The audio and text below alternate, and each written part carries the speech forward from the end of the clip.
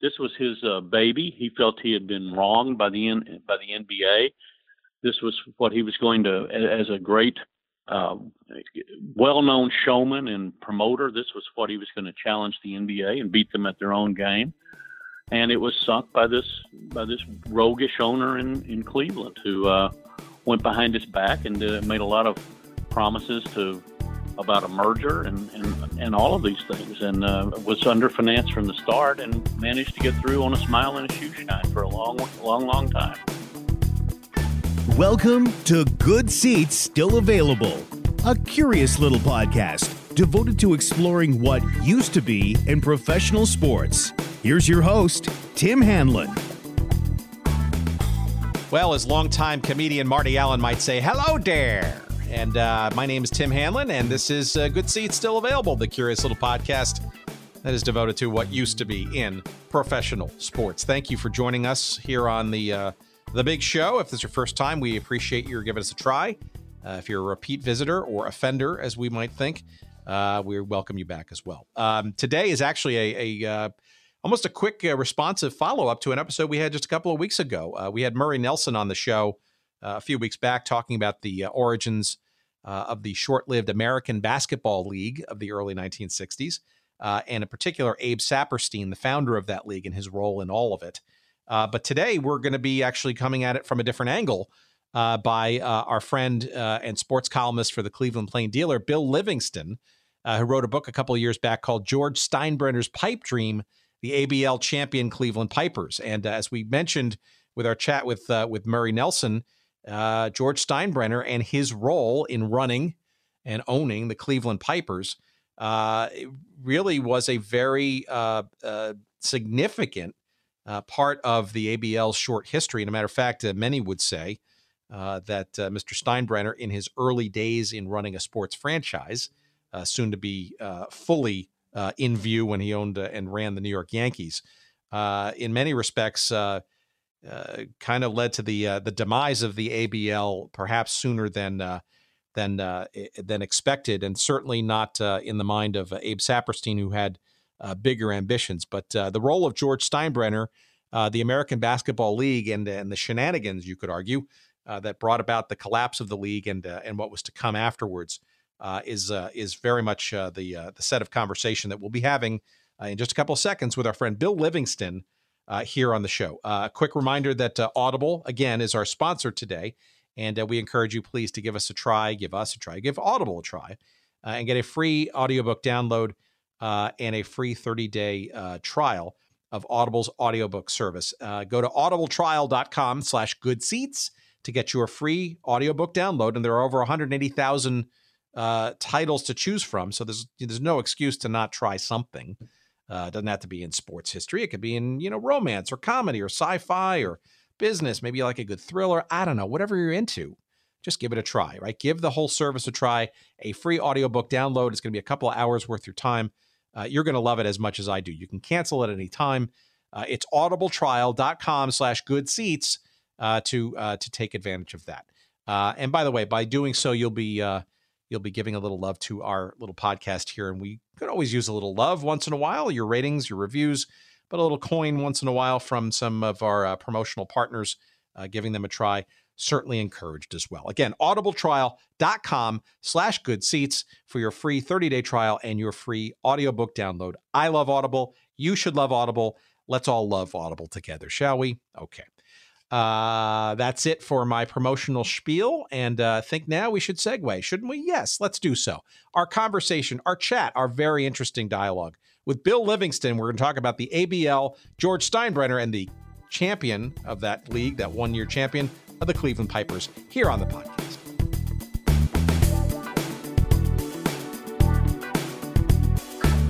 I guess uh, I'd love to kind of just get a sense of how you even got interested in the topic. Uh, obviously, you've been a sports columnist uh, yeah, with the Cleveland Plain Dealer for some time, but I suspect that the uh, interest around this story didn't necessarily emanate from uh, from your day to day, or maybe it did.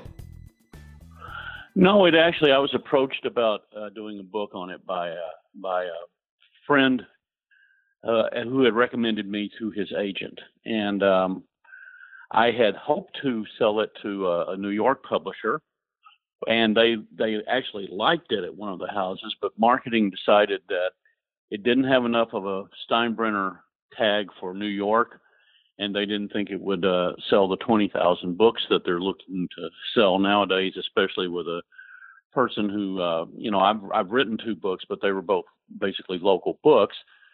So I uh, I, I kind of I'd done a month's work of um, interviewing on it and some research, and I put it aside for a while. And and my wife said, "Well, you know, what are you going to do about the Piper's book? It, you know, you you really ought to look into trying to finish it. Maybe it'll lead to something else." And you'd said that that it was a very interesting topic and a neglected part of sports history. And the more I thought about it, the more she was right. Uh, I realized she was right, which is not uh, hardly the first time that's happened to me and her.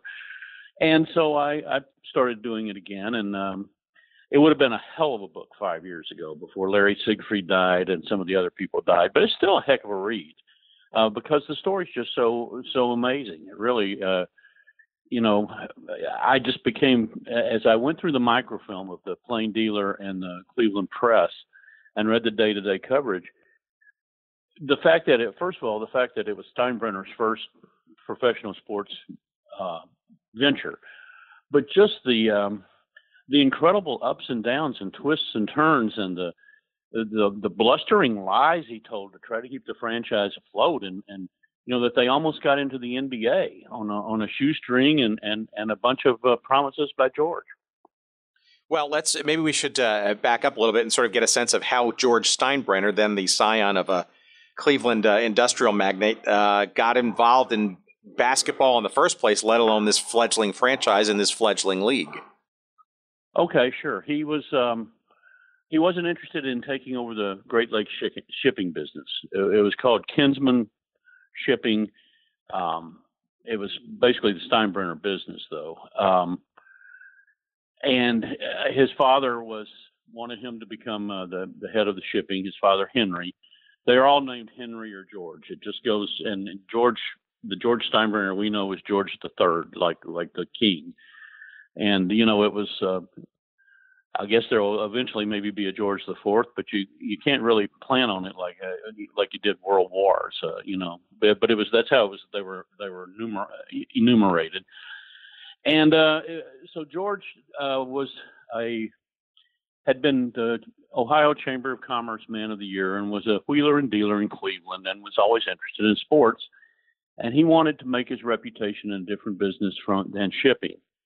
And the NIBL, which was uh, the National Industrial Basketball League, had a Cleveland franchise, and it had the first black coach of a uh, integrated team in uh, in professional sports uh, basketball certainly. John McClendon, who was from Tennessee State, was Tennessee A and I then, and had been a small college power with three straight NAI championships. And there was a new league starting up.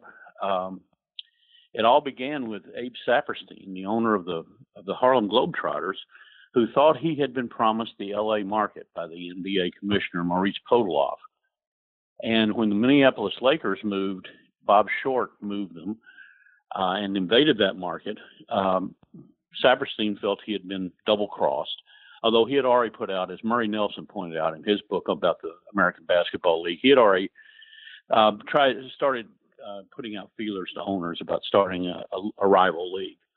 And this was kind of the straw that broke the camel's back, and he then launched the a- ABL. And uh, George was the front man and the, the chief owner of a group of uh, 20 or so young guys in Cleveland, all all uh, the next generation of prominent families like the Stouffer Frozen Food Company, uh, who who invested in the pro basketball team. And uh, his father was adamantly opposed to it, and felt that it was foolish to be throwing money at a at a sports enterprise. So that's how it started. Um, so we uh, we talk with uh, Murray. Actually, it's our current episode that's out uh, this week as we're recording it. Uh, so we got a little bit of uh, of sort of the Saperstein background uh, on this, and it, it, piqued my interest even further. Obviously, with this particular part, because Steinbrenner obviously what became you know frankly a, a pivotal.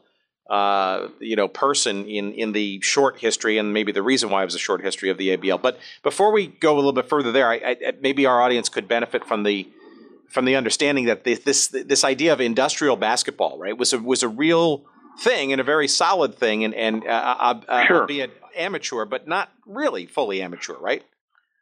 No, it was uh, it was a mid step. It was a mid pro midway step between college and and, and the NBA. These guys were uh, Bob Kurland, who had been a, a, a great player at Oklahoma A&M, now Oklahoma State, was with the Phillips 66ers. It was large companies that, that fielded company teams, and they had they had jobs with the company. Excuse me, and many players felt that you know they, they would have an off-season job, and it was also preparation for a business career. And there were some there were some very good players who who were in the NIBL, and um, you know, all, at, at sometimes in the before uh, in the 40s, I think they had uh, the Olympic team sometimes was composed of a lot of NIBL players, and in fact, when uh, when the Pipers were still an NIBL team after after the Pipers won the uh, the AAU championship, they went to the Soviet Union, uh, the first American team to tour there. Uh, and, and it was mostly NIBL players, and uh, most of them were, many of them were Pipers and John McClendon uh, took them over because that was considered to be a big uh, propaganda statement that we would have a America would have an African American coach leading this this basketball team. Sure. Um, so, but so give me some sense then of how how Steinbrenner uh, and his group of owners uh, made the jump into, I guess, a fledgling professional league. I, I got the sense that it wasn't necessarily his his idea alone. Uh, he might have been sort of, uh, I don't know, coerced and, or maybe intrigued to to jump into the professional ranks? He was, yeah, he was intrigued to make his own way and make his own name. And uh, the team, it was very cheap. The, the team was called the Pipers because they were the first owner was, uh, owned a plumbing company. It wasn't the little bagpiper with the tam o'shanter on his head. It was a it was an industrial company, and they they were they were flat broke. He he got it for like I think twenty five thousand dollars or something that and he certainly didn't put up all of it that he and his other investors put together. And he was not thrilled at having John McClendon as the coach because he John McClendon was a soft-spoken guy. George was, by all accounts, not a racist at all, but he wanted a big name. He wanted to make a splash in the papers, and and John McClendon was was not going to do that for him, even though he was a racial pioneer in Cleveland, the city of racial pioneers, with Larry Doby and Frank Robinson, the first African American manager, and Bill Willis and Marion Motley with the Browns, and and, you know Lenny Wilkens for that matter, and, and Wayne Embry, the first uh, African American front office really in the NBA. But uh, George took over the team, and, and it was a few weeks before he decided that he would keep McClendon as his coach. And um, when he took over the team, they went to the AAU tournament, and even though they had the, the best record, the tournament was played in Denver because the attendance would be better. And uh, they won they won a couple of games and got to the finals. And George wanted to bring them home because the hotel bills were running too high, even though they were they were sleeping to, to a room and uh, not in not in the Ritz Carlton, uh, whatever that might have been of its day, the Brown Palace or something, I guess.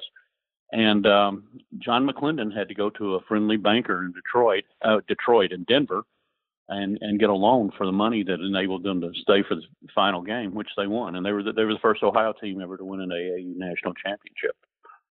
And after that, the, the team was a winning team, so he pretty much had to hire, he had to keep McClendon on as his coach as they went into this new venture, the ABL. So, what was the relationship between uh, Steinbrenner and Saperstein, right? Because obviously Saperstein was the the main engine, I guess, behind creating this new league. I mean, it seems like that Steinbrenner would have to be somewhat impressed or uh, you know uh, convinced by somebody like Saperstein to to say yes and to join in. Well, to some extent, but George Steinbrenner pretty much went rogue early. Um, he conducted business in his own way and, and quickly ran afoul of the uh, of the of the league office. But the league was in such financial straits uh, that there wasn't a whole lot they could do about him. Uh, they were almost expelled in midseason for not turning over the share of the gate receipts that they were supposed to give to the league and for uh, playing in, in they played all over the area. It was like the regionalization of the of the early ABA teams like the Carolina Cougars. They played in Columbus, many suburbs of Cleveland, as far away as uh, they uh, as far away as Sandusky and Youngstown, uh, and and again in the seven county metropolitan area, and, and at some high school gyms.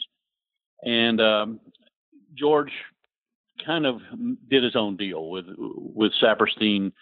Saperstein apparently was a very weak and vacillating commissioner who uh, he owned the Chicago Majors and ran them as a de facto Globetrotters farm team. Uh, he just shuffled players between the Globetrotters, whom, whom he owned, and and and the majors. If uh, if a Globetrotter looked good, he'd bring him up to the to the ABL team.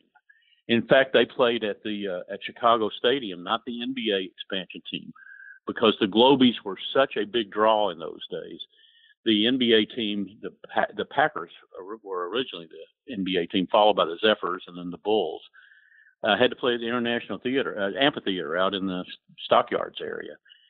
Um, and and so you know he uh, he was pretty much a rogue owner all the way. Um, there were all sorts of disputes that we can get into later with the about the league office and, and George. Well, sure. So, uh, uh, why were they so peripatetic in the in the Cleveland region? Was it because they couldn't find a place to uh, play on a regular basis? no, they, they did it everywhere, really. Um, what they were well, they wanted to try to you know popularize it around the area, but uh, it was one, part of Saperstein's vision was to play games either at at a league city or at a neutral site and play double headers. And they would also play series of games to cut down uh, travel. So they, you know, there was a team in Hawaii. So you went to Hawaii one time, played three or four games out there, and teams very seldom won in Hawaii uh, because of the travel, because of the, you know, attractions. And uh, according to uh, Mike, the late Mike Cleary, who was the first general manager of the Pipers and the first guy ever fired in pro sports by Steinbrenner, um, and later became the uh, the GM of the arch rival Kansas City Steers. It was because the, um, the the referees were based out there; they didn't travel, and um, they were of Japanese descent. And uh, he thought that uh, if the if, if the Hawaii Chiefs didn't win, they might be on the next trip uh, boat to Yokohama or something. But they had a tremendous home court record, the Hawaii team. Uh, you know, they played a lot of doubleheaders in Pittsburgh, uh, which you know th- this was not a this this was not a league. There are a lot of you know leagues that came and went and that are good, colorful stories. But the difference with the ABL, besides the three point shot, is that there were big names in the league. Connie Hawkins was the he was the first LeBron. He was the MVP of the league at 19, after he had to leave the University of Iowa, probably innocent of of of uh, of uh, point shaving charges. And uh, there were Bill Spivey, who had been caught up in the Kentucky scandal, was played in the league with uh, eventually with uh, Hawaii. And there was Tony Jackson of played in the league and made 12 three pointers in 1961-62 in one game, which is still would be the record in the NBA.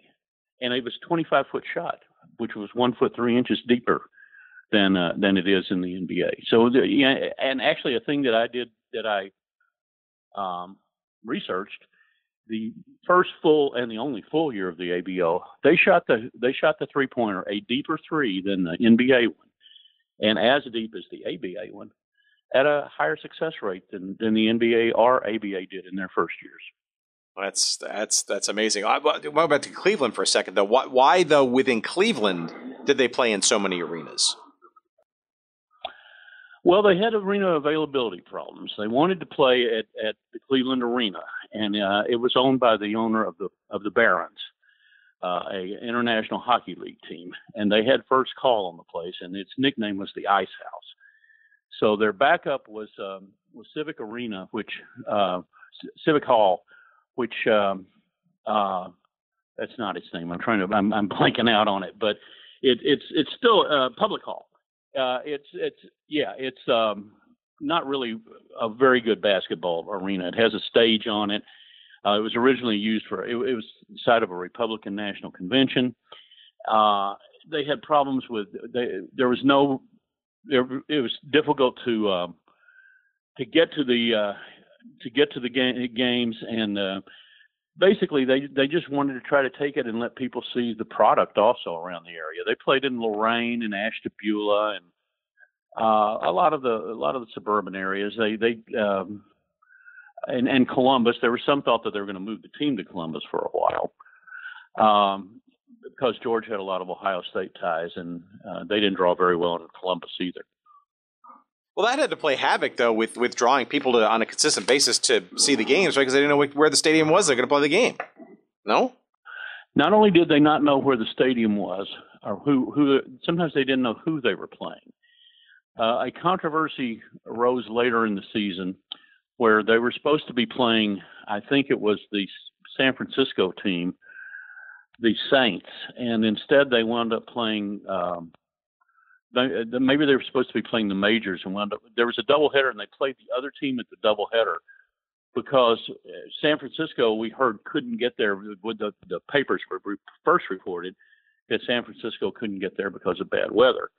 Well, what it turned out later was George was refusing to go to the West Coast because he was hemorrhaging money and he wanted to cut out the trips, the costly trips to the West Coast and San Francisco, LA had already folded. The Los Angeles Jets, which was originally coached by Bill Sharman, um, San Francisco said, then we're not going to go to the Midwest. And they just didn't come. This is the type of rebellion that was going on in the league. The schedule was just a fluid thing that Saperstein made up uh, on the fly. Uh, you know, there were. It was it was not an uncommon thing for the schedule that was listed in the paper that morning to be wrong. That's interesting. So, so okay, so let's let's bring it back to Cleveland then and, and Steinbrenner, right? So, does is is he is he trying to basically take advantage of this craziness and, and lack of stability and, and to his advantage uh, already, or is this this is a pattern? He was just trying to stay afloat. Okay. He, his father wouldn't let him touch the family money, and uh, he was he was just um, you know promising things and, and borrowing money and just just trying to get the league going. And he, he his goal was always to get out of this as he called it, a bush league near near the end of the season and, and get into the NBA. And of course, I don't know how many listeners know this, but they signed Jerry Lucas out of Ohio State, who was the kind of the Larry Bird and Bill Bradley of his day, uh, the greatest white player in the game and and the greatest scholar athlete in the game. And it was just stunning for this fly by night league that had all that didn't draw anybody to get the you know, the most popular player on the on the most publicized team in the country. And that's how they got their NBA invitation that never came across because of they couldn't pay the indemnity payments. But uh, all along, he was looking for a bigger stage, and that's why he wanted a bigger name coach. Well, okay, so let's unpack that for a second because you know, in the middle of that first season, right, the shades of of what was to become a very obvious and and renegade George Steinbrenner certainly started to show through, right? Because he ultimately did indeed uh, figure out a way to uh, create or or engender a rift with uh, Coach McClendon to the point where, right. depending on who you ask, McClendon either quit or was fired uh, and right. replaced. Right. So uh, what was so what's the story there? It's clear that besides hemorrhaging money and, and trying to watch the watch the pennies, Steinbrenner was still starting to show meddling uh, interest, I guess, oh, sure. in making yeah. sure the team worked. Yeah, he he traded a player at halftime to the team they were playing that night. He traded Grady McCollum, a sub, to the Hawaii Chiefs who were playing that night, whom they were playing that night in Cleveland, and wanted him to suit up and play against his teammates in the second half. And a tearful McCollum told uh, John McClendon that, and McClendon was outraged. Said, "You don't have to do that. Just go sit in the stands. You're not going to have. I'm, you're you're not going to have to do anything like that." They had they had a first half playoff and a second half playoff, a, a split season, starting again after the first half playoff. The Pipers had two of the three games at home and managed to lose in three games to Kansas City, losing the third game at home. And George went ballistic, and and uh, as part of part of it was his pique, and uh, just just petty anger at the team that they that they had not won the championship of the first half, and the winner of the first half automatically went to the finals. That was the format. And part of it was he didn't have the money. He refused to pay the players. And this eventually leaked out to Bob Sudyk of the press who covered them. And the players were going to boycott. They weren't going to go to a game in Pittsburgh if he didn't pay them because you know, several of them were married and had children or certainly had uh, significant others living with them or, or, you know, even though they didn't have children, they were married and they had bills to meet and uh, they uh, there was almost a boycott of, of, of the and, and Steinbrenner eventually gave in and paid them with uh, with a lot of recriminations about that. So that sort of infamous uh, mid-game uh, trade, and then the reaction of McClendon of that trade, that was that was all predicated from or, or around losing that first half season series. Right, and he also George also was uh, a guy who, you know, he he he, he was uh, didn't want to be loved. He wanted to be feared and respected. And there was a game where the Pipers were playing in Pittsburgh, and they were in, you know, they were saving money. It was a two-hour drive. Uh, they were in station wagons, and uh, the one that one of them had a flat tire, and uh, Coach McClendon stayed with the stricken vehicle and sent the starters on in a, in the other one. And by the time they got it fixed and got to the arena, it was the second half, and he had told Jack Adams, who was his point guard, "You be you co- you're the player coach until I get there." And when he got there, they were solidly ahead, and they wound up winning the game by about 20 points. So McClendon just sat on the bench and let Adams continue to coach, and Steinbrenner went crazy about that and said, "What am I, what am I coaching you for? If you're, what am I paying you for if you're not going to coach?" He said, "You want, we won the game. I didn't have to do anything. You know, the, the, we have a good team, and we were winning the game." So McClendon was a guy who, um, you know, they as um, as someone said uh, who was with the Pittsburgh Rens, you know, that was a marriage made in hell. It was never going to work between a laid back, diffident, and yet, you know, a core of steel about his personal dignity, like John McClendon, and a bombastic, temperamental, explosive person like George Steinbrenner. Yeah, but by all accounts, McClendon was a uh, well-regarded, almost revered uh, uh, figure, right? I mean, he, he was largely responsible for. Well, he recruiting. wasn't the big name that George wanted. Oh, absolutely. Yeah. He was. He he. Uh, his faculty advisor at the University of Kansas was was Naismith. Was James Naismith. He had wanted to go to um, to Springfield College, where Naismith had, you know, of course, invented basketball and his father said, "Well, he he's on the faculty at the University of Kansas, and the family they they grew up, I think, in the Kansas City area." He said, "Why don't you go to Kansas?" And and and McClendon was uh, his his faculty advisor was was James Naismith. I mean, it was it's an incredible thing to what history you were seeing with with, with John McClendon, a man who actually knew and and was you know given personal basketball tutelage by Naismith. Well, and and and ultimately a, a basketball Hall of Famer. Uh, I think he was, in fact, inducted twice. I don't know the circumstances as well yes, as the college basketball finally, Hall of Fame, right? finally in as a coach also. Oh, there he is, a coach. And that was long overdue because the Tennessee State teams were uh, won three straight NAIAs, and um, they were probably as good as um, the top NCAA teams of the era. And McClendon was responsible for, for uh, among other things, uh, bringing in Dick Barnett, right, who was a quite the phenom. Uh, for sure. right? Well, he brought a lot of his Tennessee State players in, and, and Barnett was the best one he ever coached. And Barnett was backed up, uh, wasn't getting playing time in Syracuse, and you know he was an African American man in Syracuse in the in the uh, late '50s and early '60s. It couldn't, uh, wasn't a whole lot of social life, and uh, certainly not not the type of social life you could get on the north side of Nashville at Tennessee State. And he, um, you know, he he left and, and came to the came to the Pipers, and there was a lawsuit about it.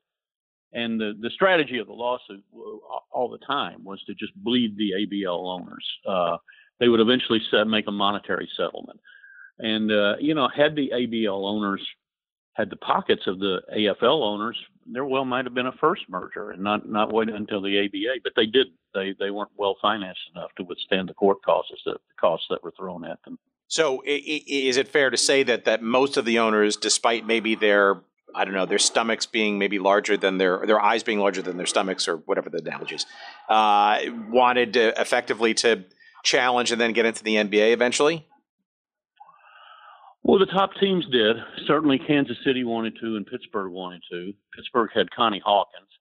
Kansas City had Bill Bridges, and and the best team by far overall. They had the overall record. They were nine or ten games ahead of the Pipers on the on the season, um, and uh, would have won won both halves of the of the overall standings by you know by a solid margin. Um, but that was you know the the league the the Jets folded early. The Los Angeles Jets. That was Sharman was the coach and uh, actually the player coach at first. It's interesting that he thought uh, he thought the three point line was too deep. It was too deep for him anyway. Uh, and uh, you know, it it just became the incredible shrinking league as as uh, Washington picked up and moved in the middle of the season to, to out on Commack, Long, Long Island. Nobody could find it. You know, it was a, a broken down old place. They played at Uline Arena, which was legendarily a terrible place in the NBA uh, in in the 40s when when that was the host of the home home court of the uh, Washington franchise. And they were, you know, they played in. Um, it was in L.A. They played at the uh, at, at the Olympic, uh, which uh, did not have a standard, didn't have room for a standard size court. It was uh, something like seven feet too short or ten feet too short, something like that. So it was, you know, it was a league that kind of like the early AB AFL teams that remember Frank Youell Field where the where the leg where the uh, Raiders played, which was a high school stadium. That's kind of what some of the franchises are like in the ABL. That's uh, that's that's the. I mean, uh, you wonder in the in the the age of video that we live in today, if you had some some footage some footage of that. I, it's it's it's kind of hard to sort of frame even in, in my. There's one small clip that I found, and I, it's the only proof that I ever found that the Pipers lived in. It's a shot of them in the small, tiny locker room after they won the fifth and final game of the end of season playoffs in Kansas City. It was played at a college gym because the uh, municipal auditorium was being taken by the Ice Capades. And uh, I, I'm pretty sure it's Barnett standing on a bench holding literally a pipe, a steam pipe that was, you know, running through the little locker room to steady himself and pouring champagne over a teammate's head. It's about 15 seconds long. I got to find that. All right, so let's back up to McClendon. Uh, so let, us clear up the McClendon story. So, did he quit, or was he fired, or what? As far as you know he quit and then was given a face saving job as a uh, kind of a public, not a public relations man, kind of a community relations guy to go around and make speeches about basketball and about the Pipers. One of the real kind of sad stories I thought that happened was uh, at that time, NFL players, nobody was worth the money that they're worth today. NFL teams had off-season basketball teams. And Jim Brown was a very good basketball player, along with a Hall of Famer, of course, in football and in lacrosse. And he was the big draw of, uh, of, of the Browns off-season team. They were playing the Steelers in a game at the, at the uh, Cleveland Arena. And the usual thing would be if the Globies were, were if the Globetrotters were the first game, half the attendance would leave after the Globetrotters game. They didn't uh, rather than watch the ABL game. And the Browns, the, the NFL teams you know, football players playing basketball had nearly the same effect. Well, when they're coming in, he's now got McClendon. Uh, he's got Sharman as his coach. He's got McClendon as a community affairs guy.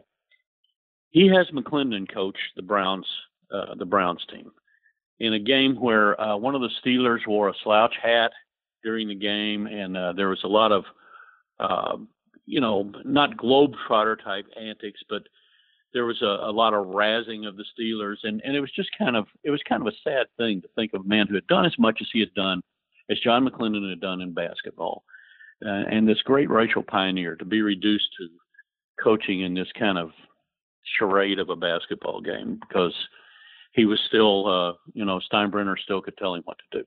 Well, okay. Uh, so with McClendon basically on the sidelines, uh, figuratively and literally, uh, why Bill Sharman of the now folded LA Jets? What was so magic about him, and why did Steinbrenner insist on getting him as the coach to, for the rest of the season? Well, he was a big name, and uh, George had heard good things about him. Uh, George didn't know a George didn't really know a whole lot about basketball. He was very excited to have signed Larry Siegfried. He was the only NCAA player of any note who, who came to the Pipers. And uh, Siegfried was a defensive player. Uh, with Boston, he was a, a stopper in the uh, you know backcourt stopper, not a flashy, flamboyant, high-scoring player at all. But he did know about Bill Sharman, and he knew um, Bill Sharman had a big name. He George liked baseball. He had been a part-time baseball coach at Lackland at, at a, a Lockbourne Air Force Base in Columbus, uh, where they played the Ohio State freshmen and got tattooed. and uh, he knew a lot about baseball. And, and had also been uh, with the Dodgers. He, I don't think he ever had an at bat, but he was on the roster, called up in, in September. And uh, and so he Steinbrenner he, he became available, and you know somehow Bill moved over here and uh, put in a, a, lot of the things that became standard in the in, in the NBA, the the game day shoot around, and uh, you know he was a big proponent of uh, of conditioning and visualization of success, and he was way ahead of his time in those ways, and, and made some lineup changes, and you know the, the, they were two and seven in the second half when he took over, and you know they wound up winning the whole thing. So it was the right move to make, possibly just because it he had so much big name credibility, and from his playing career too. George respected that. That compared to McClendon, George left him alone. I mean, he didn't uh, he didn't second guess him as much. He didn't barge into the locker room at halftime. Uh, it was a much more sedate operation with uh, with a guy like Sharman running the show as coach.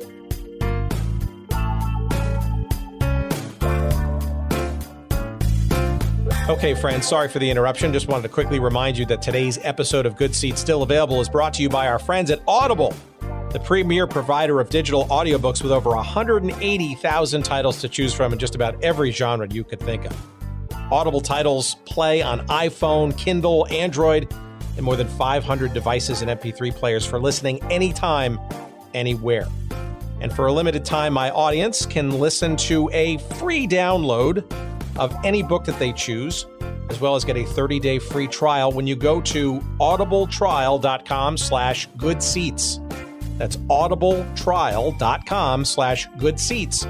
And you can choose from over 180,000 titles, as we said, including uh, one that I'm listening to right now. It's called The 10 Gallon War by John Eisenberg. That's the story of the NFL's Cowboys, the AFL's Texans, and the feud for Dallas's pro football future. Um, another one on my list, which I have yet to download but is on my queue, uh, that could be interesting to our audience here is called the National Forgotten League by Dan Daly, entertaining stories and observations from pro football's first 50 years. Those are just two of the many thousands of titles to choose from, and not just in sports history, but you name the genre that uh, you might want to listen to, and Audible's got it. By the way, two uh, two guests perhaps that we'll have on the show hopefully sometime soon. But again, go to audibletrial.com slash good seats for your free 30-day trial as well as your free audiobook download to try it out for yourself. Again, that's audibletrial.com slash good seats. And now, back to our conversation.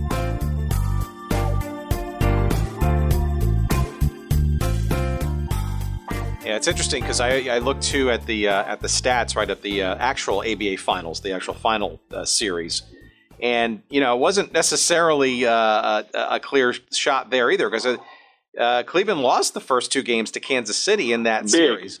Lost them big. It, it reminded me of the Cavs come back against the Warriors last last year when they lost the first two games by 48 points combined. Um, yeah, they they lost big and they won two buzzer beaters here. Uh, they won on a Dick Barnett hook shot uh, at the buzzer and on a Connie Dierking jump shot. Or no, Dierking was a hook shot, and they called Barnett's a hook shot, but I'm told that it was his usual kind of, you know, contorted fallback jumper deep from the corner. It might have been a three pointer nowadays. Uh, well, I guess I guess it wasn't because they did have the corner three. I guess it was just a deep two. But um, yeah, and they they went back out there after. Uh, uh, that's a whole story too. They almost forfeited the final game of the of the of the ABL finals. Uh, we can get into that later well, on, yeah, or I can so talk let, about let, it now. Yeah, let's to. let's set the let's set the tone. So just to put this in context to, for our audience, I mean, um, I'm looking at the stats here. Uh, yeah, the the uh, the uh, first finals that uh, uh, the Steers of Kansas City and, and Cleveland Pipers played. I mean, it was it was basically every other day from April 1st all the way to April 9th. So basically one day break, and Kansas City uh, pasted Cleveland by 25 in the first game on April 1st, uh, 1962. And uh, it mm-hmm. looks like they won, uh, Kansas City did by, wow, 20, 30. Well, the Cavs had also, points. Uh, the Cavs, the Pipers had also had to survive a sudden death tournament to get to the ABL finals. Um, every team that was, the, the there were seven teams left, and six of them went into uh, a series of sudden death games and the the uh, the Pipers had to win two of them. They they beat San Francisco, against whom they did not have a very good record, and then they beat I think it was New York in the in the second game, and, and had to play like the next night at the start of the finals. And they were you they could not get into um, they could not get into the the arena, the municipal auditorium in Kansas City, so they played at Mason Halpin Fieldhouse. Um, it's uh, on a small college campus, uh, Rockhurst College, in uh, in uh, the Chicago area, and um, in the Kansas City area. I'm sorry, and um, apparently there was no one there, including Steinbrenner, except Piper's players, McClendon and Sharman. Uh, everyone else was Kansas City fans, but George, before they they wanted to play in the game, George said that he had been told that he had been promised by Saperstein, and there's no proof of this. It's just his word that uh, the uh, championship game would be played at the East uh, East Division's winner. Well, that's kind of spurious because the East Division was not guaranteed a spot in the finals once this sudden death thing came up. I mean, it could have been San Francisco against Kansas City, and there is no East Division team. And Kansas City, you know, rightfully, I think, said, well, you had two of the three games the first half playoff at your place. You know, uh, we have the best record. It's only right that we have home court. And Steinbrenner said that they then would not go, that they would forfeit the game. He said, uh, uh, and Kansas City had booked uh, flights for them, seats on a flight to Kansas City, and the Pipers canceled them. And there was no game the day that it was scheduled. And Saperstein finally belatedly got involved, and um, this was considered proof of what a weak commissioner he was. He finally sent a telegram and said he settled the dispute in the traditional sporting gesture of flipping a coin. And Kansas City had won, so the game would be played in Kansas City. And George lifted up to the players, who, of course, wanted to play. And they, oh, and at one time, Saperstein also uh, offered a co-championship. Kansas City and and the Steers, the Steers and the Pipers could be co-champions, and both teams indignantly turned that down. Certainly, Kansas City did because they were ahead at the time, two games to one.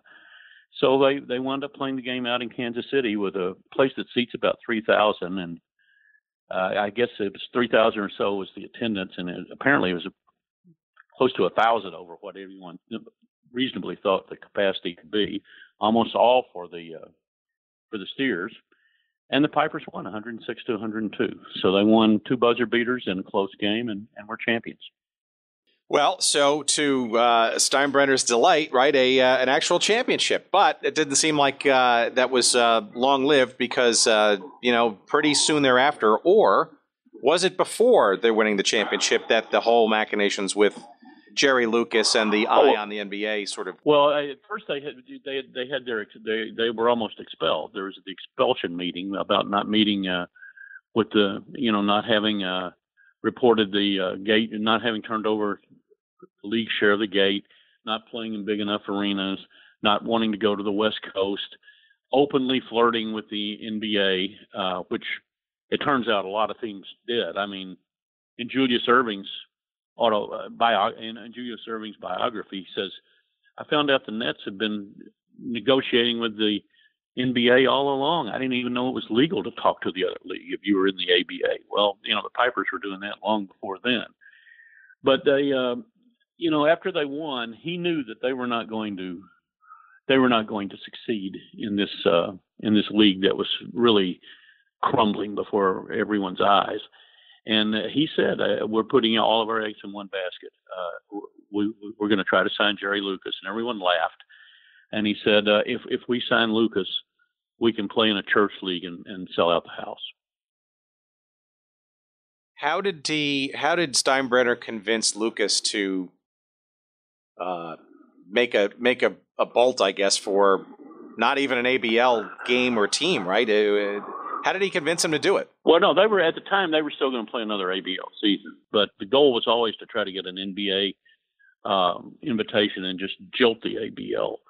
Well, he, he, he was very canny about it. Uh, Lucas had said all along, many many times, that he was not going to play pro basketball. That he didn't want to live his life in a suitcase, out of a suitcase. That uh, you know he was a Phi Beta Kappa, in, in the School of Commerce. It, those aren't the Greek letters. There's some other ones for the for commerce, but the equivalent of Phi Beta Kappa. Extremely bright guy, uh, very serious young man, a great representative at the Olympics. Of you know the most popular guy would be mobbed by a player by fans in Rome after games in 1960.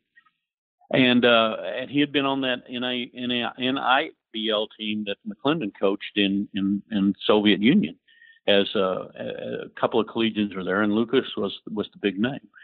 Lucas, uh, they got him by uh, Cincinnati offered him three years for a hundred thousand dollars, and Steinbrenner just snorted at that and said, "You won't get this guy. You won't get this boy with money."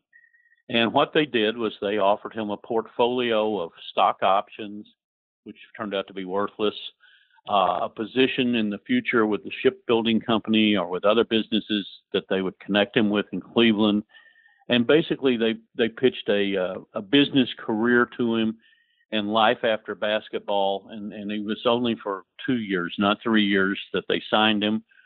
And uh, then he could uh, you know assess assess how he liked it. And they had also promised him that it would be a shorter season because he was already troubled by his by his knees. And uh, that that's how they got him. It was what he was looking for. Uh, they showed him that they had lost $125,000 in in 1962 money, and he wasn't fazed and uh, took their offer. And and what happened as a result of that? Can you give our listeners a sense of of, of what what kind of uh, oh, it was ripples it that was caused? like a bombshell. I mean, Lucas had played golf with the Cincinnati Royals, who had his NBA rights, the day before and didn't say anything to them uh, that he was meeting with the Pipers the next day to sign. Didn't give them any indication whatsoever. And the general manager of the of the Royals said uh, it was like Pearl Harbor. Here he is smiling at us, and and uh, you know we're getting bombed. The next day we find we're getting bombed. You know, and uh, he said I don't think Lucas is the all-American boy he he presents himself to be. And Lucas was a was the kind of guy who kind of told people what they wanted to hear. He he discerned what their uh, expectations were and was willing to string them along if, uh, uh, to some extent. And he, you know, George was considered uh, Steinbrenner was considered just the, the magic man in Cleveland. I mean, uh, he had been mercilessly and, and fairly ripped for the way he behaved as owner, and now he was the toast of the town. And there was a big piece by Arthur Daley in the in the New York Times uh, talking about this miracle that the only reason that they they got into the NBA, and it was by a six-three vote, which was the the minimum. You, you had to have a two-thirds approval. They needed a tenth team to balance the schedule because one team was always idle, and uh, they they squeaked in in the vote, and it was solely because of Lucas. Uh, the the box office appeal of this in a sport that was becoming more and more black. This white player, uh, the great white hope out of Ohio State, you know, Buckeye boy from a small town, middle town between Dayton and and Cincinnati, who had led the Buckeyes to three championship games and one national championship, and probably would have won another one, except he was he was hurt in the third one. Uh, you know, it was um, again, it was it was kind of like a, a World Football League team or something signing, uh, you know, O.J. Simpson or something right out of college. It was just un, nobody could believe it all this stuff repeats itself as another theme we sort of see in this uh, in this podcast as we as we go on in the weeks and months ahead. It's uh, this seems like it's history repeating itself over and over and over again.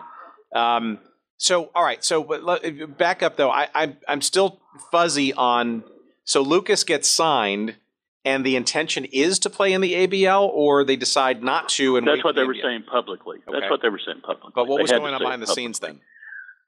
Yeah, and then um, you know, the George said that Luca that that Saperstein had given him carte blanche. That was the term he used to negotiate for basically for a merger with the uh, with the NBA. And uh, Murray Nelson's book says that Saperstein said that that that Saperstein said he Saperstein had that had the carte blanche. But that quote appears in, in the Plain Dealer uh, in contemporaneous coverage with Steinbrenner asserting that he had, uh, after after you know the offer came out, that he had been given carte blanche by Saperstein to, to negotiate mainly for the Pipers, but also with the view of a of a uh, more of a wider merger. Um, and I think it was six weeks or something like that before the uh, after after they got Lucas that they were invited into the NBA by the six three vote. So Saperstein must have been devastated and then angered. Oh, he went crazy. He went crazy. He uh, he sent. He was in Japan or something. He sent, and people knew that he was a. The NBA people knew that he was a very litigious guy, and he sent. Uh, he sent telegrams warning that there would be legal action, and uh, he came back and uh, got the other ABL owners to uh, to uh, commit to having another season, and he was fully prepared to to sue their pants off, you know. And and the NBA, again, they didn't. This wasn't the burgeoning sport of pro football that was just rocketing uh, past baseball in those years, or, or starting to move past baseball. Certainly uh, with Unitas and player the the over sudden death overtime game and all of that. Uh, this was not the new American craze. It was still it was still just basketball, which was nothing like it is now. Ohio State was uh, was the most popular team probably in the country, uh, counting pros, and they were not on TV until March. Was their first televised game for an undefeated team. Their uh, their Lucas's junior year. It's just unimaginable now. When when they won the national championship, when Lucas was a sophomore, they got back at the Cow Palace. They got back into San Francisco at their hotel, and there was nothing to eat at the hotel. They went out looking for some place where they could get something to eat, and they found a bar and grill that was about to close up. And Siegfried was the oldest player and the captain of the team and the leader. And he told the owner, he said, "Well, you got, could you just let us in because we just won the national championship?" And the owner said, "Of what?" You know, there was no te- Final Four telecast then, or, or any. It was just it was the the uh, Cavaliers had had West and Robertson at a Black History Month thing about 15 years ago, and I've they both agreed. West said it, but Oscar totally agreed. West said when we played in the NBA, it, it was a minor league that that presented itself as a major league, but it was a minor league, and that's you know the ABL was even bushier, bushier league. That's I, that's that's very that's, that's all right. So where so so the sign Lucas, the the the entreaty by the NBA occurs. They're basically accepted, and they get to do nothing for the season. Well, because they couldn't meet the indemnity payments uh, to, to to the uh, entrance fees and the payments to the Royals for infringing on the Ohio market, although it's 250 miles away down on the Ohio River, and Cleveland's up on Lake Erie. Um, they Joe Steinbrenner lied about that he had paid uh, all along, and it came out the the Royals said uh, charged that he you know they had missed all their payments, and they showed a they showed a bounce check that uh, payment to a uh, player that three thousand dollars, and there wasn't enough money in the till for that. When Mike Cleary was the general manager, uh, he said the the bank where that that cashed the checks was in the same building as their offices, and he said, when those checks came up, he said, I ran downstairs and I got my money because I knew there wasn't enough in that till for everybody. so, you know, they uh, they had a they had a meeting in New York at the Roosevelt Hotel, and um, it, on a on a 9-0 vote, the the offer was rescinded on in, in, insufficient funds, and there was an attempt by by some other groups in Cleveland to buy in or take over the franchise and try to save it. But George wasn't going to give it up, and uh, he never had he never could produce proof that he had the backing. So that was uh, you know that's that's kind of the way it went. Where, where did the uh, where did the Kansas City Steers come into this? Because there was a, some kind of merger effort. Was that sort of part of the, the yes game? yes there was a this was uh, another thing that Steinbrenner did behind uh, behind Saperstein's back, basically. And Cleary and uh, and um, a couple of one, one other source uh, with the with the Rens uh, confirmed it that there was um, a plan to uh, take the best players from from the uh, Kansas City team and the Cleveland team, and kind of with Lucas, and and that would have been you know an early super team. Uh, Lucas was Lucas signed a a contract only with the ABL, and and um, when when that became void with the with the Pipers uh, being when the Pipers folded, he was a free agent. He was the first actual free agent um, you know, the NBA was throwing all kinds of money at him to get him to sign. But they they just um, uh, I think it was going to be Bill Bridges was going to play there, and uh, Gene Tormohlen, Bumper Tormohlen was going to be part of the merger, and um, uh, it's it's in the book. I can't remember. Those were the uh, Bridges was easily their best player, but uh, yeah, this too was just uh, too little, too late. So in essence, Steinbrenner boxed himself into a corner. He played the game, lost it with the NBA. Obviously, had already backed out and was certainly not going to go back to the ABL. Uh, so that's pretty much kind of ended his pursuit, then I guess, right? Right. He had tried to enlist the San Francisco Saints owner, and uh, this guy kind of played him along and then backed out at the last second, and and that was kind of really the the death knell that that he just wasn't going to be able to turn up the money after that. Uh, but he, you know, he he tried to. Um, he did the right thing by his investors. He took an entire ore ship and turned the profits for however many months it took to repay their money. He took the profits from that and repaid all of his investors, which restored his good name uh, in in business circles in the in, in the city of Cleveland anyway. And there's a story, uh, a guy that uh, uh, Tony Tomsic, who was the guy that Albert Belle threw the baseball at, the Sports Illustrated photographer.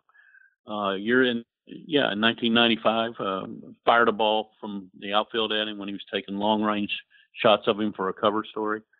Tony was uh, had been in uh, had been signed uh, by Steinbrenner to, to do glossies for the team before the season opened, and uh, the Berlin Wall went up, and Tony was in the uh, Army Reserve, was called back to active duty, and uh, he never got paid. He was he, he was offered two. He was promised two hundred and fifty dollars, and when he was discharged, he came back and marched in, blew right past the secretary, marched into George's office, and started reading the, him the riot act and saying, "I was serving my country, and you can't pay me the crummy two hundred and fifty dollars you promised me. You ought to be ashamed of yourself."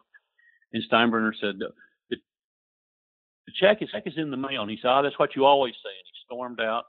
And he said later that week he got a check from he got a letter in the mail from Steinbrenner, and he opened it up, and it was for five hundred dollars, double what he had promised him. George always did these type of things. Apparently, he he did terrible, thoughtless, impulsive things to people and tried to throw money at them to fix it.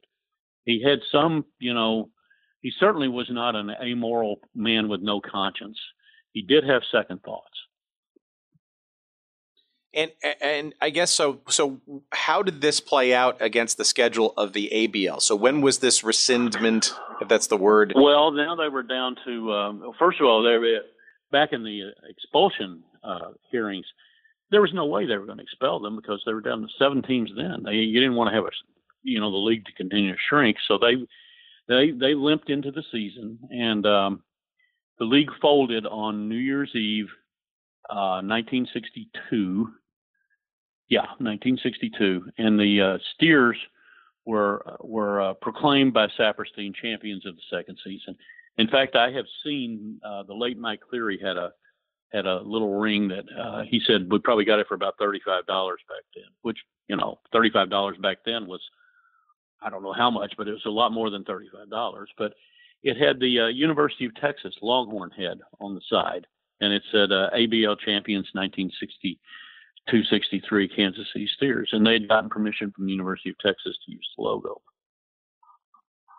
Interesting. So, uh, but when during that ABL season did this the, the Steinbrenner uh, saga play out? Where was the league? Was the ABL playing and this sort of played out, or yeah, yeah, he, yeah.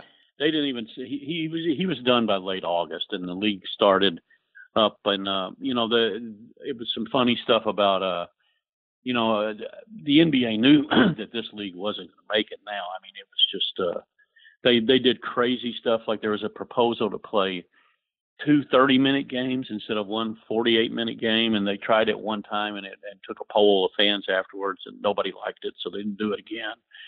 But they were just trying everything to, you know, they had a, they had a prize fight bell that would ring when anybody made a three point shot because it was, it was like the knockout shot or something. And, uh, they promoted it like it was a home run in baseball.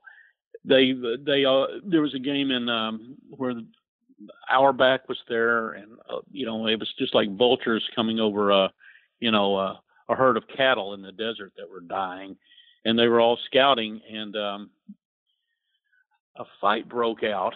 And I'm trying to, I, right now, I can't think of the name of the player, but uh, this player ran to the bench and uh, wrapped his arm in a wrapped his shooting hand in a couple of towels and went back and started punching people. It, wasn't his first rodeo. He had done this before, but he didn't. He didn't want to hurt his shooting hand because NBA scouts were there to to see what you know to evaluate talent, and maybe he would get a job. So um, okay, so uh, at the at the end of all of this, and I'm still trying to get and and I couldn't sort of get this from Murray Nelson, and, and I still haven't really heard it from you. I, I I'm wondering what the what the level of uh, friction and or animosity might have been between Messrs. Saperstein and Steinbrenner, because um, I can't imagine it was nothing, given all this. Oh, I think it was pronounced. Uh, it's just that the stories that I read, you know, they're all dead that I read didn't didn't have anything from Saperstein about it. But I'm, yeah, I mean, you know, this was this was his uh, baby. He felt he had been wronged by the N- by the NBA. This was what he was going to, as a great, uh, well-known showman and promoter. This was what he was going to challenge the NBA and beat them at their own game. And it was sunk by this by this roguish owner in in Cleveland who uh, went behind his back and uh, made a lot of promises to about a merger and and and all of these things, and uh, was underfinanced from the start, and managed to get through on a smile and a shoe shine for a long, long, long time. Why do you think Steinbrenner ostensibly never went back to pro basketball again and, and moved on to things like the Yankees and, and other endeavors? Well, I think baseball was probably his first love anyway. He uh, he had been an assistant football coach at Purdue and Northwestern also. Uh, I think basketball was just what came along in Cleveland as an opportunity. Um, he uh, he told Sudyk uh, about a year after the team folded that he knew that he was never going to be a guy who would inspire love and affection, and players were going to play for him. They would play out of fear of him. And he felt the only way he could succeed was to uh, he said everybody's got 10 more cent 10 more percent to give. No matter what you think you've got 10 more percent that you can give. And he thought by by goading them and and sometimes you know he had if they did well he was uh you know he he was uh would give bonuses which were probably illegal but and or take the team out to dinner and things like that but uh he felt that he could uh browbeat and intimidate and threaten to trade and trade people even at halftime of games and, and, and get the squeeze the most out of them. He didn't want to be loved, he wanted to be feared and respected. And how about Lucas after all of this? Was he did he have any hard feelings or did he kind of presage this and did he think this was going to well, he signed a personal services contract with uh, the Marks Advertising Agency, which had been uh, uh, one of the team one of the groups that tried to come in and kind of usurp the Pipers from Steinbrenner in his death throes uh, and he got paid regardless. It was one of these contracts like if the world ends, he gets paid the next day anyway. And um, he, after all these, all the comments he had made, uh, uh, there was an excellent piece in the press that just listed all the comments Lucas had made about he would never play in Cincinnati because he was just reviled by the Cincinnati fans when he when he went to the ABL and and uh, a columnist in in in uh, Columbus criticized him for it. Uh, you know, saying that if you you know, we'll never know how good he was because he chose to go to this Bush League, and he'll lead.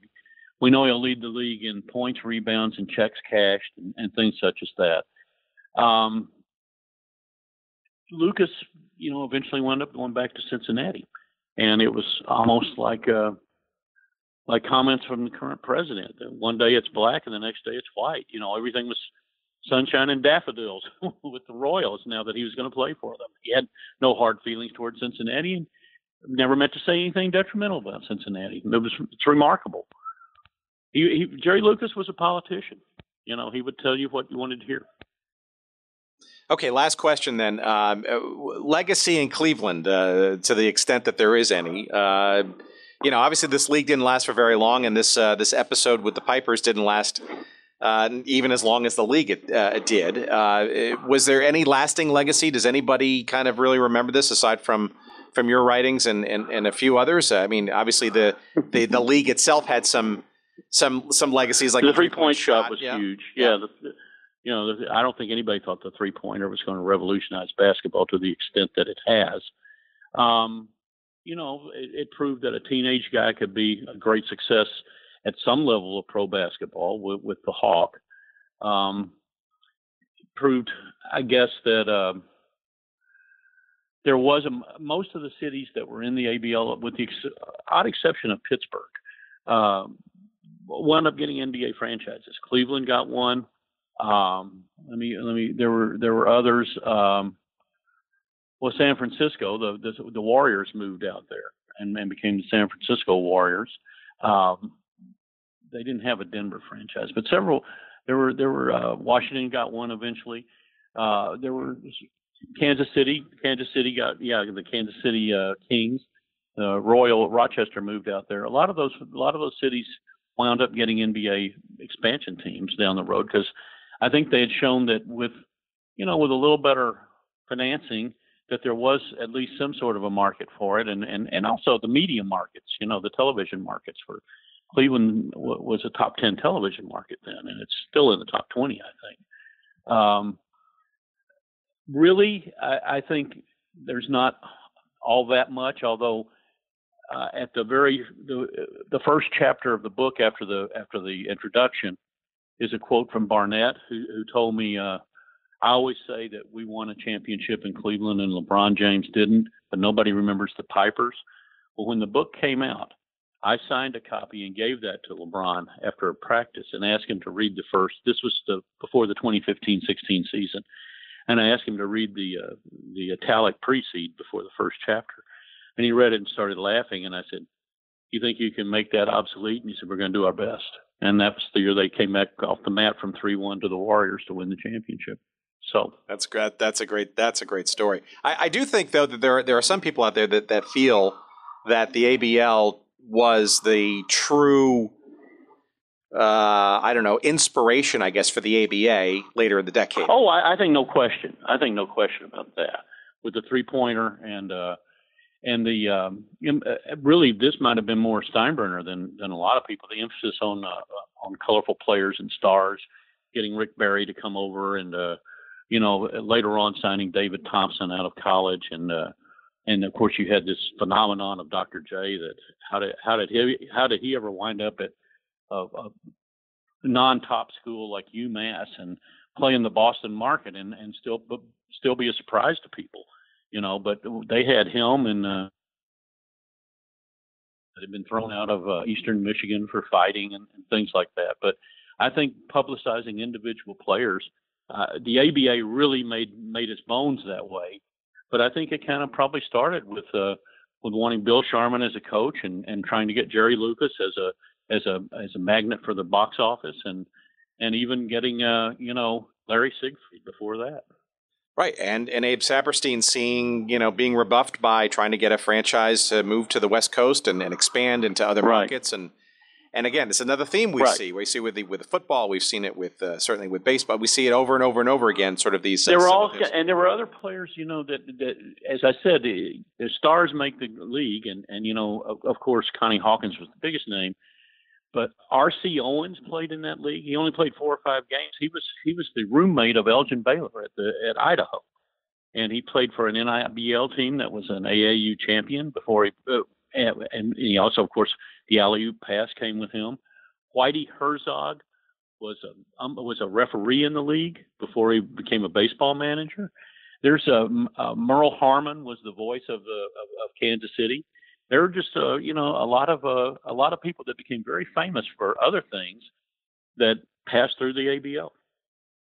Very, very, very interesting. Well, that's another reason why we do these conversations because uh, it's, it's some fascinating stories and um, I, you know, I do want to recommend to our listeners. Uh, our guest has been Bill Livingston. Uh, he's been a longtime uh, sports writer for the Cleveland Plain Dealer and, and other places, and a twice nominated Pulitzer Prize uh, uh, award yes, nominee. I, I, covered Dr. J in Philadelphia for five of the six years I was the beat man, and I've covered both tenures of LeBron James as a columnist here. I've been extremely lucky in my basketball writing. Well, the book uh, that uh, Bill wrote, I think it came out a year and a half ago or so. It's called George Steinbrenner's Pipe Dream: The ABL Champion Cleveland Pipers. Uh, it's published by Kent State University Press. Uh, it is available wherever good books are sold, including you'll find a link to it on our website when the show goes up, of course. Uh, and Bill, this has been Amazon too. You can get it on Amazon. Amazon again, wherever good books are found. Indeed. Um, yep. Bill, this has been fantastic and fascinating. And I, I, wonder if there are any other, uh, I don't know, forgotten sports uh, projects rattling around the back of your brain uh, as well, or are you are you are you petered out? Well, I, I did do this book. You know, I, I, wanted, you know, I obviously wanted a wanted to, it to become a big success, but I, I honestly did have some real altruistic uh, motives too. I think it's a very neglected part of basketball and cl- uh, history, both here and elsewhere, with surprisingly big names and, and surprisingly visionary rules. One other thing that they had, they had the old international trapezoidal lane. You know, um, they would have to use adhesive tape to put in the uh, the three point arc and the and the wider lane prevent guys from camping out. You know, they they they were a very visionary league in many ways.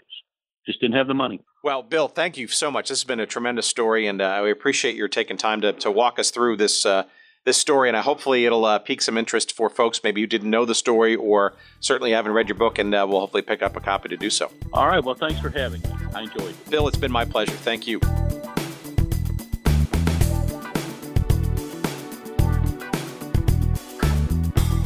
Okay, there it is. There's our chat with Bill Livingston, uh, all about uh, George Steinbrenner, all about the ABL. Uh, fun and uh, frivolity to be had by all. Uh, what a time it must have been. And uh, who could sort of understand sort of the psyche that is and was George Steinbrenner? it would have been interesting to talk to him while he was still with us to kind of get a sense of what he was thinking truly by getting involved with, with professional basketball via the ABL and, and what he had in mind for Cleveland and uh, you know his his sights on the NBA, why he didn't go back and uh, try to get an NBA franchise after all that stuff in the early '60s with the Pipers. Uh, just just fascinating stuff. And uh, our thanks again to Bill Livingston, uh, who again wrote the book George Steinbrenner's Pipe Dream, the ABL champion Cleveland Pipers. Uh, is available for purchase. it's published by Kent State University Press. And uh, wherever book, good books are found or sold, you can uh, find it there. Uh, you can find a link to it on our website if you just find the episode posted on goodseatsstillavailable.com. You'll find a link to to the book there. Uh, and of course, that is uh, the website that uh, you can keep abreast of what's going on with the show in general. Again, that's goodseatsstillavailable.com. Lots to do there. You can send us email, get on our new email newsletter list someday when we publish it for the first time. Uh, all kinds of good stuff there. Uh, follow us on social media. We love that too. Uh, on Twitter, that's at goodseatsstill. Uh, you'll find us on Instagram at Good Seats Still Available. You will find us on Facebook. There's a page devoted to the show there. And um, gee, I don't know. Find us on uh, on iTunes for sure, and rate us and review us. Uh, we appreciate that immensely. That helps generate some heat for the show within the iTunes algorithm.